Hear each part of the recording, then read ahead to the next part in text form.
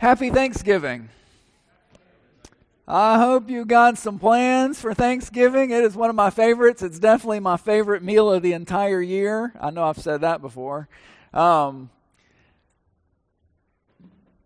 I think that for believers, it's really important for us to be people of gratitude. You know, uh, in my own life, whenever I feel anxiety, when I feel stress, and yes, I feel plenty of anxiety and stress, um, the scripture verse that comes to me most often is from Philippians. Um, and it is basically where we are told, Be anxious for nothing, but in everything by prayer and supplication with thanksgiving. Make your requests known to God, and the peace of God, which transcends all understanding, will guard your heart.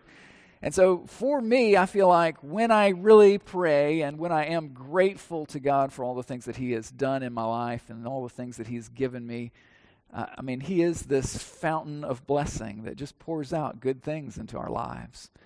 When I get there, there is a deep peace that I think goes beyond whatever anxiety I'm feeling. It is very important that we are people of gratitude. Today, our service is going to be a little bit unusual. We're having a deacon ordination service, but I thought it seems appropriate that we do thank the Lord uh, as we are having a service like this, deacon ordination. And I'd like you just to consider for a minute your 2020. What has 2020 looked like for you? Like right now, you're probably not going, I have so much to be thankful for, right? You're like, there's corona and racial issues and political unrest and all of these different things. We are a split, divided country. Look at all the negative, all the bad. But if the truth be told, there's some really good things happening too. And I think, not least among those great things that God has done, that He has given us and blessed us with, is the fact that he is moving and active among this congregation. And the fact that we are having a deacon ordination means God is at work in Jason's life. We're ordaining Jason Overton today. And I think we as a congregation should be grateful that we recognize that calling in his life, that fact that God is at work and in moving in who he is, and that, that we have opportunity to have a service just like this. Not just where, where we would ordain and set aside uh, Jason, but where all of our deacons, we would sort of renew ourselves, yourselves, in terms of ministry. And all of us, we who are believers, would say, Lord, am I that kind of person? That you would call out, that you would set aside for a special purpose? Am I living up to those biblical qualifications that we see in Scripture for a deacon? Because that's the kind of person I believe God would have all of us be if we get really honest with ourselves. So I hope today you don't just sit back and go, whoo, good. This is a sermon for somebody else. That's my favorite kind. You know? But instead you say, huh, I wonder if this applies to me. God, what would you do in my heart? How would you change my life to make me more the person you'd have me be? Today, our passage of scripture I want to look at is in 1 Timothy chapter 3, verse 8. And so if you've got your Bible with you, would you turn to that? 1 Timothy chapter 3, verse 8. Um, I am also going to reference a pretty good bit from Acts chapter 6, verses 1 through 4. But 1 Timothy 3, 8 is, I think, sort of primary today. Um, and I feel like really what we need to do is open up with some questions. Just in case, you know, you're brand new, you've never been to church before, you hear this, what is a deacon? You're having deacon ordination? That doesn't make sense to me. Are you even speaking in English? Well, kind of.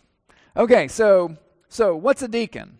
Biblically, who are deacons? Where'd the term come from? The word deacon is actually a Greek word, and we didn't translate it. We just brought it straight from the Greek over into the English. And so the Greek word is diakonos, and we just said, we like that word, deacon. Let's anglicize it. But if we translated it, the word deacon means servant. And that would be somebody who waited tables or washed clothes or cleaned your house or, or whatever. It was a lowly person who served others. That's what a deacon is, is a servant.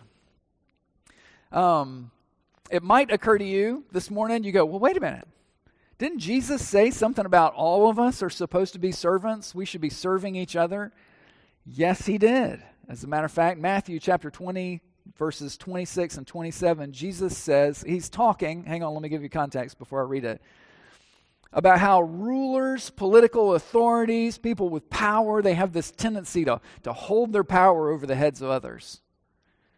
And Jesus says, that's not the way it should be with my followers. He says, Not so with you. Instead, whoever wants to become great among you must be your servant. And whoever wants to be first must be your slave. Yeah, all believers, everybody who considers themselves a follower of Christ, we are supposed to be servants. As a matter of fact, in Jesus' words here, he says, Not so with you. Instead, whoever wants to become great among you must be your diakonos, your deacon, your servant. So we are blessed when we choose to follow God in a special way and say, I'm going to serve. And you don't have to have a special office to do that. All of us can say, I'm going to be a servant to other people because I want to be great in God's kingdom. So, another question is what's so special about the deacon ministry? Um, in the book of Acts, we find that is really where the whole deacon ministry came from. And so that is the Acts chapter 6, verses 1 through 4 that I was referring to before. Um, very early on, and when I say early on, I mean Jesus died on a cross. He was with all these believers and he ascended into heaven. The church is just brand new, it's just barely getting rolling. And they had problems. One of the problems that they had was let me back up a step. Um, if you were a believer of Jesus's right at the beginning, then you would be Jewish.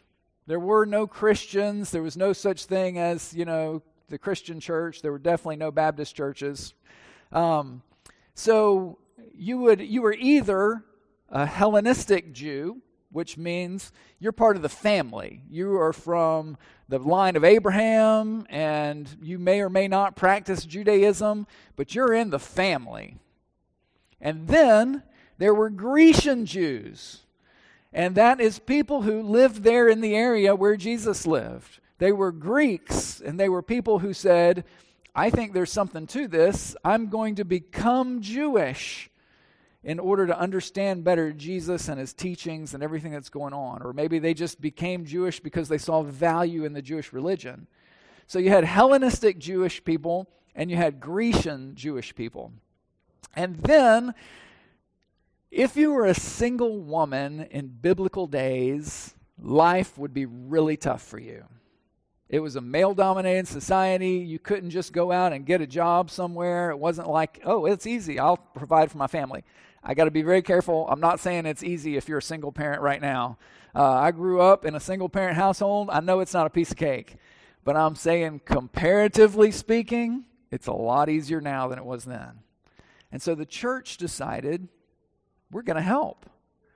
We'll provide food for these widows, these single women, every day, make sure that they're taken care of. But a major problem propped up, a major problem cropped up. There was a racial issue that came up in the church. The Hellenistic Jews, the people who were in the family, they were getting fed. But the the moms who were Greek, who were single, were not getting any food. And so they complained, hey, what about these ladies? They're not getting what they need. And the church said, we can't have that. We got to do something about this. And so we find the solution that they came up with is here in Acts. Acts chapter 6, beginning in verse 1, it says, In those days, when the number of disciples was increasing, the Grecian Jews among them complained against the Hebraic Jews because their widows were being overlooked in the daily distribution of food. I know. So the twelve gathered all the disciples together and said, It would not be right for us to neglect the ministry of the Word of God in order to wait on tables. Brothers, choose seven men from among you who are known to be full of the Spirit and wisdom and we'll turn this responsibility over to them and we'll give our attention to prayer and the ministry of the word. So the early church leaders were like, we should be praying. We should be studying the scripture. We need to be telling people about Jesus. Messiah has come. We shouldn't be taking care of tables and making sure that people get food.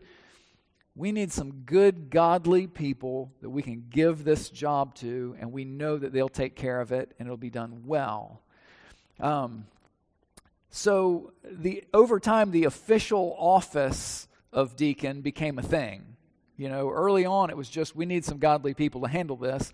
But eventually they said, we're going to make this official. We like that we have these leaders. And so what we find in our first Timothy passage is an older pastor, a guy named Paul, is telling a younger pastor, a guy named Timothy, these are the kind of people that you're looking for to be in that office. And so let's take a look our passage for today. This is 1 Timothy chapter 3, beginning in verse 8. Deacons likewise are to be men worthy of respect, sincere, not indulging in much wine, and not pursuing dishonest gain. They must keep hold of the deep truths of the faith with a clear conscience.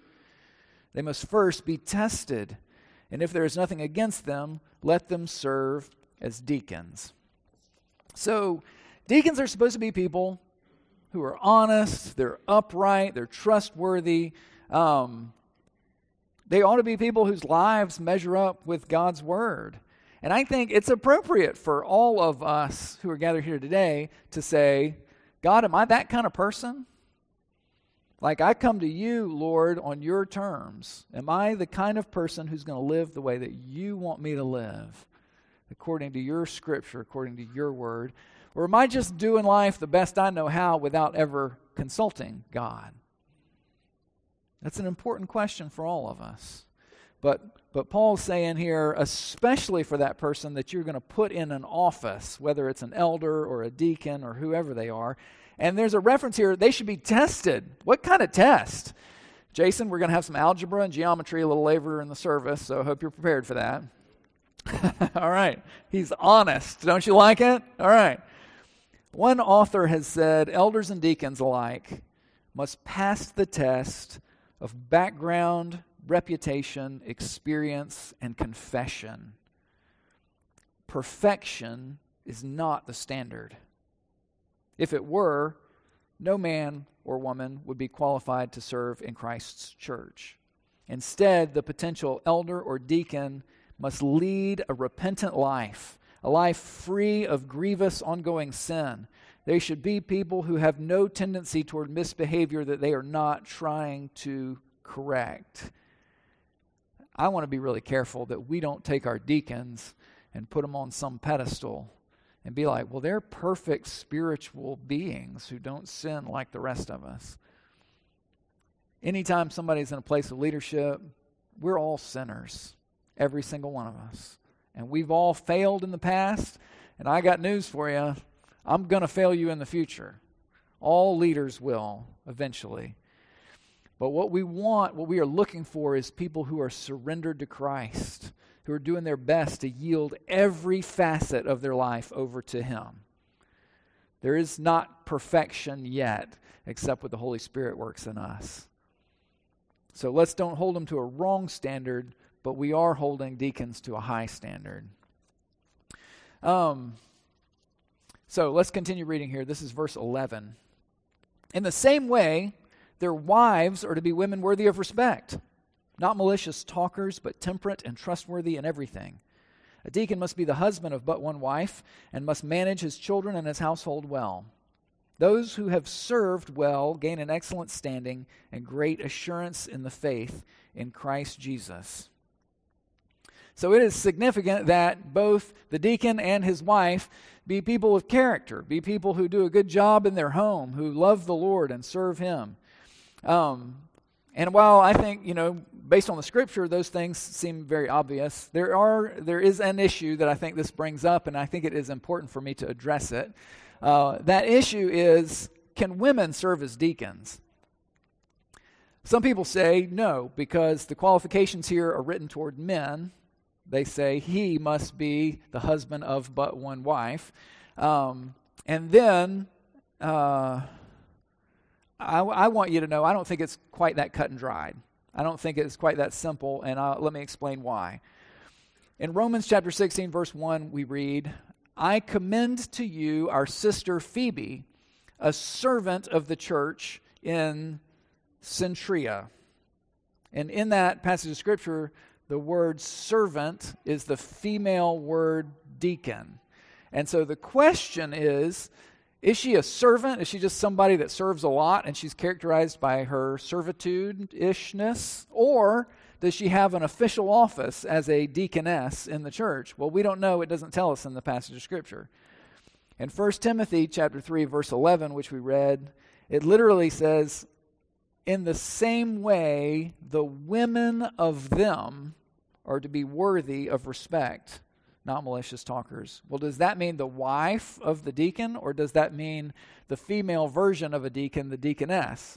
Again, the passage of Scripture doesn't tell us which one we're talking about. So, I try to teach you what the Bible says, and I think I've just done that. Now I'm going to give you my opinion for whatever that's worth.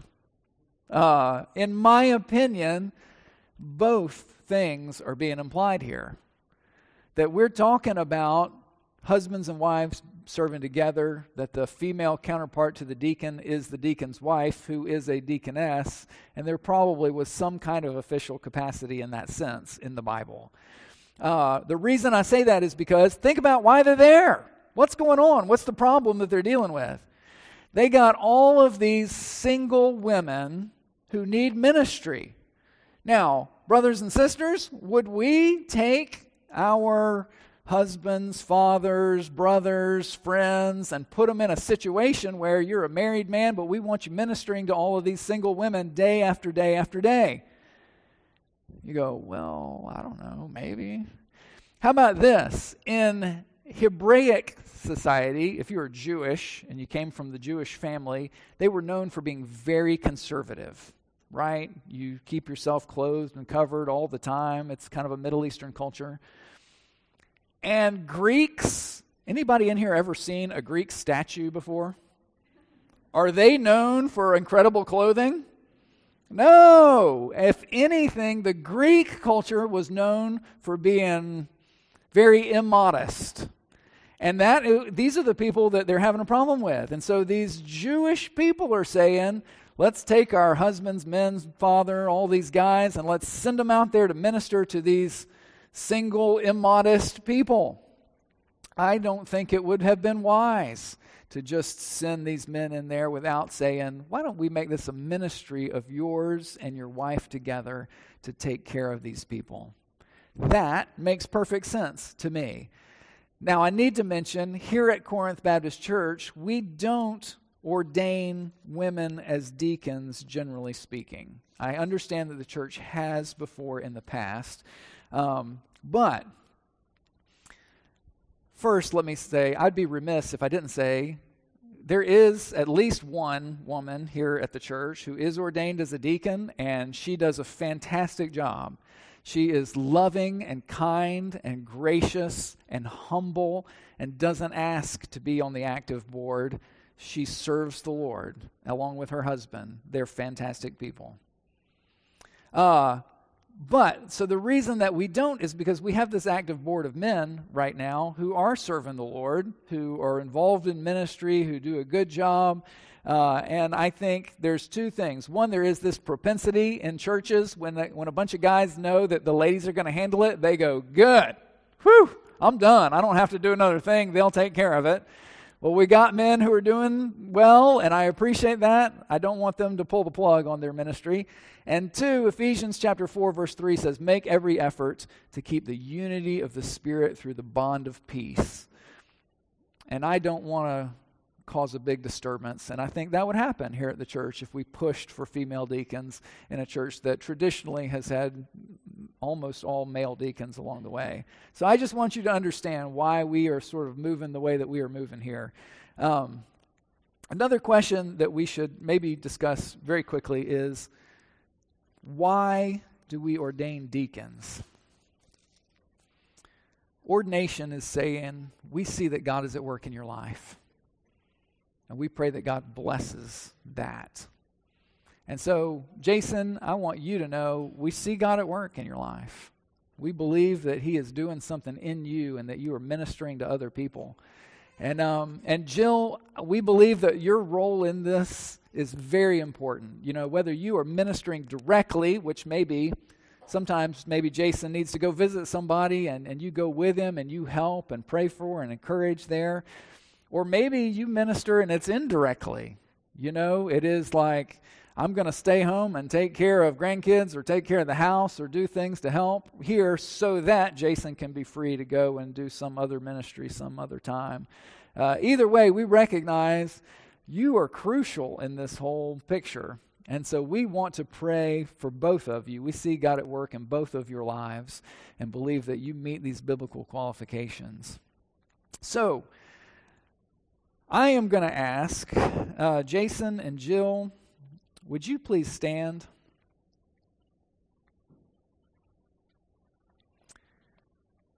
Uh, I'm, let's put that this thing up on the board. I'm going to ask you to commit yourself to this ministry, Jason. Do you promise to strive to live your life to the best of your ability in a way that honors Christ? Do you promise in the presence of God and this congregation to accept the title of deacon, avoiding sin, and performing all the duties of this office to the best of your knowledge and ability? All right. Thank you, brother. Jason, Jill, would you guys come and stand here or sit in these chairs right here in front? Um, deacons, I think it is a good time for those of you who are on the active board to recommit yourselves as well to the ministry that you have. And so I'd like to ask you the same things. Deacons, do you promise to strive to live your life to the best of your ability in a way that honors Christ? Do you promise in the presence of God in this congregation to honor your title as deacon avoiding sin and performing all the duties of this office to the best of your knowledge and ability. If you do, would you say, I do? Thank you, deacons. Congregation, do you acknowledge Jason Overton as having been called and gifted as a servant of Christ? You promise to encourage and to pray for him in his office and to cooperate with him in the fulfillment of his mission here in the church and also as part of God's kingdom? Congregation, if you would commit to that, would you say, I do? I do. Uh, I know that in a world of coronavirus, this might be a little bit daunting. Uh, traditionally, what you do with people is you lay hands on them and pray for them. And so I have already asked Jason and Jill, are you guys okay with this? Is it, are you all comfortable in this situation? And they both said, Absolutely. We want God's people to put their hands on and pray for us. And so, so traditionally in Christian circles, the ordained people come and lay hands on and pray for those that we are ordaining. And so this morning, I'm going to invite the ordained to come and to do that. But our church also has the tradition there is no harm in having other people lay hands on and pray as well. And so after we do the part with the ordained people, then I'll invite the congregation at large. If you would like to come through and lay hands on and pray for them, then you would also be invited to do that. So, uh, those of you who are ordained, I'm inviting you, if you would come, maybe come around this way, and, and if we could social distance out that way a little bit, that would be good. Um, and then, and we'll just move ahead from there. So, those of you who are ordained, would you come lay hands on and pray for the Overtons?